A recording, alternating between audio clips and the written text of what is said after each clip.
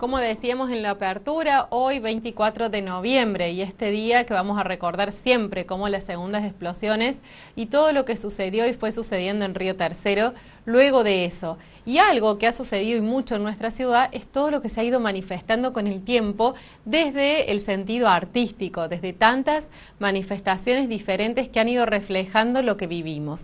Y es por eso que hoy nuevamente vamos a entablar eh, contacto, conversación con Sebastián Salguero. Él es río tercerense y ha realizado un registro fotográfico, eh, todo un, un trabajo, un proyecto que ha realizado el año pasado que se llama Abrazos Partidos y la novedad en esta ocasión es que este trabajo se ha convertido en un libro, en un ejemplar único que hoy será presentado y donado en Río Tercero. ¿Cómo estás, Eva? Soledad te saluda.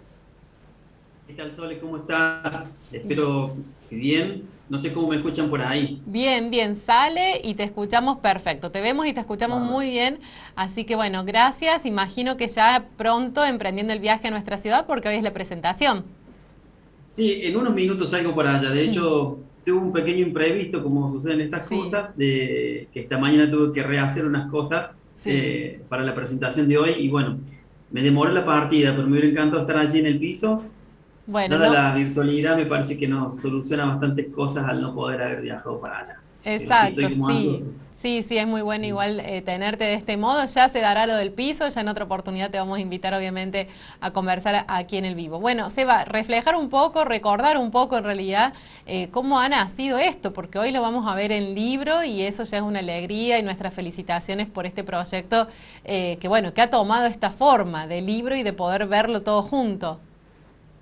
Sí, la, la verdad que bueno, han pasado tantos años, han pasado tantas cosas dentro de este proyecto de que, bueno, para quien no está al tanto, me parece que está bueno tratar de resumirle brevemente lo que, desde dónde, de dónde viene. Yo empecé en el año 2014 a, a trabajar en, este proyecto.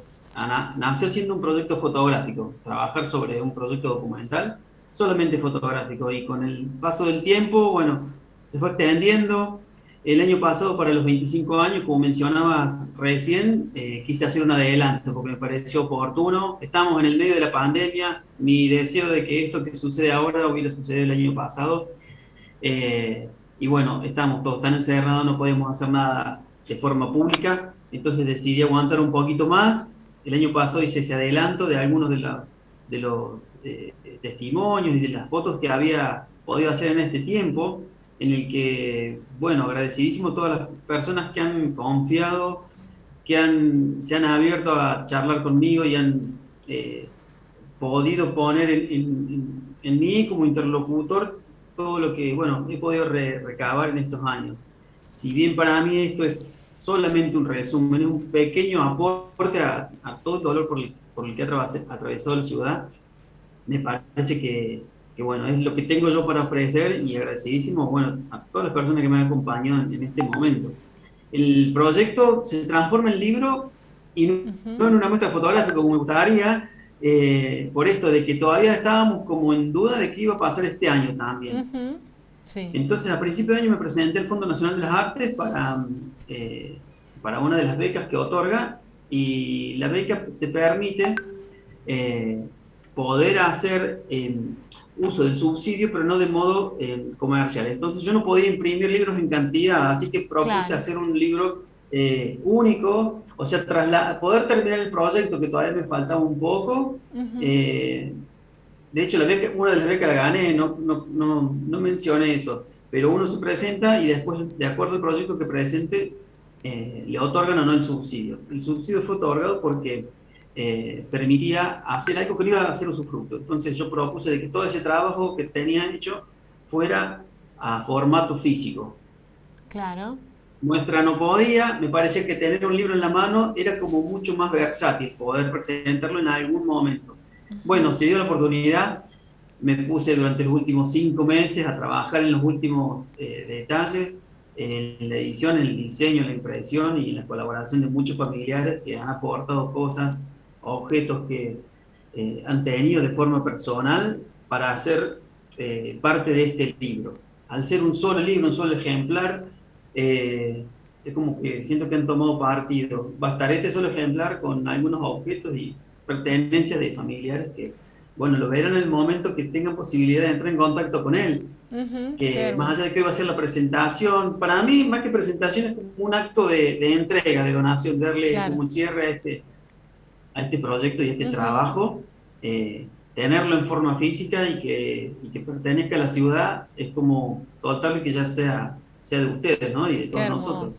Sí, imagino esto de, de, entregar como una parte tuya también en esto de que de que pueda estar en Río Tercero, que la gente lo pueda visitar, pueda tener en contacto, hasta lo puede leer porque es un libro objeto.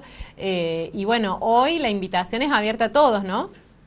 Exactamente, es abierta a, todo el mundo a las 19 horas en el Museo Enrique Gandolfo, en donde estaba la ex eh, terminal de trenes, para quien este, no lo conoce todavía. Eh, bueno, vamos a intentar ser breves. Lo vamos a presentar con Alejandra Palombarini y Susana Carballo, psicóloga conocida de hace muchos años. Este, y entre los tres, bueno, vamos a tratar de darle una justificación a todo este trayecto que hemos tenido desde el momento en que eh, era totalmente efímero y de no saber con qué me iba a encontrar en ese año 2014-2015 y, y, cómo hoy esto se transforma para mí en, en un documento, en, una forma de, de, seguir sosteniendo de que Tercero no se olvide ni se olvide de lo que sucedió y que me parece que estos testimonios eh, valorizan las, las, historias mínimas de muchas personas en las que aún eh, necesita ser recordado ese, ese día y que lo puedan eh, transmitir a las personas que no saben qué ha ocurrido o a las nuevas generaciones que no lo han vivido. Exacto. para ser claro, el, libro al hacer el acto de donación va a estar unos días en el Museo Gandolfo y, y la Biblioteca Popular va a ser como el lugar de resguardo, donde va a estar en, forma permanente. La idea es que esté a disposición del público, no se va a poder llevar a domicilio como en algunos casos y algunos ejemplares, sino que va a estar a, la vista para poder leerlo en el lugar. Leerlo digo porque tiene algunas frases que yo he rescatado de las charlas que he tenido con, con las personas con las que me he contactado estos años y algunas imágenes. Entonces lleva su tiempito, no son solo las imágenes para ver, sino que hay un poco de texto para poder comprender desde dónde he trabajado todos estos años. Así que bueno, va a llevar un poquito de tiempo poder leerlo, eh, pero bueno, mientras que la biblioteca esté abierta, ustedes pueden llegarse en cualquier momento y en esos horarios. Qué lindo. Bueno, lo vamos a disfrutar seguramente. Nosotros, Eva, te felicitamos y nos alegramos con vos que esto haya tenido, como vos decís, un cierre este proyecto, un final eh, y que sea este libro que queda para nuestra ciudad. Muchas gracias, Eva, y éxitos en la presentación de hoy.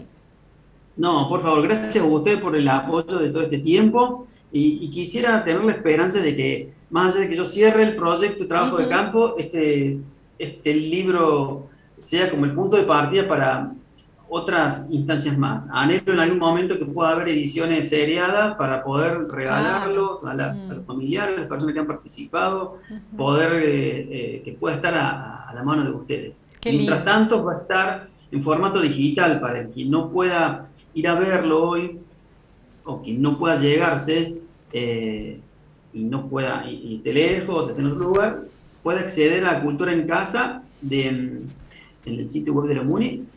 Allí va a encontrar eh, en, la sala, en sala 3 de noviembre un link que lo va a dirigir a una visualización virtual. Me encargué de hacer la reproducción de páginas de las páginas del libro para que pueda ser visualizado en, en, en una compu, en un dispositivo grande, ya que es un formato mediano grande el libro, está bueno para que esté ahí disponible. Qué lindo, para que todos lo podamos ver.